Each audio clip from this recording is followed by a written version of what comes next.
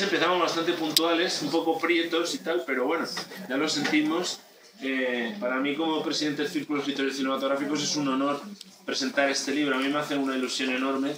eh, que podamos hacer una presentación que en el fondo es un homenaje también a Beatriz Sartori,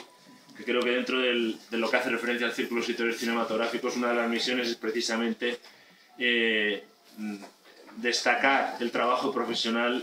pues de la gente del cine, de los críticos, informadores del cine, que son la mayoría de los que pertenecen al Círculo de Escritores Cinematográficos. Beatriz nunca perteneció, que yo sepa, yo no sé si estuvo en aquella época, no sé, no yo creo que no, pero sí que estuvo en algún jurado como miembro invitado en la época en la que había jurado para la entrega de los premios del Círculo de Escritores Cinematográficos. Yo creo en el año 93, justo cuando yo entré, eh, ella estuvo en los premios de ese año y luego yo desde luego como periodista le debo mucho a Beatriz porque yo creo que todos los que tenemos una cierta edad hemos aprendido un montón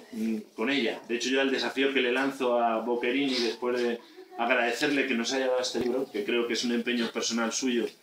que tiene un montón de testimonios muy buenos sobre el trabajo periodístico de Beatriz y su dimensión humana tan grande como era ella desbordante, ¿verdad? Eh, pero yo he de decir que he aprendido mucho y que tengo el honor de tener en mi archivo personal un montón de trabajos de Beatriz, sobre todo de entrevistas, algunas de las cuales me parecen realmente antológicas. Y yo creo que sería una buena labor Boccherini que el siguiente libro sea una antología de entrevistas de Beatriz Sartorio, por lo menos ponerla a disposición de las nuevas generaciones de periodistas para cuando tengan trabajo, ¿eh? cuando puedan tener trabajo, ¿eh? que aprendan de, de, los maestros, de la maestra en este caso, porque yo desde luego algunas de sus entrevistas las guardo en mi archivo como material valiosísimo de lo que ha hecho. ¿no?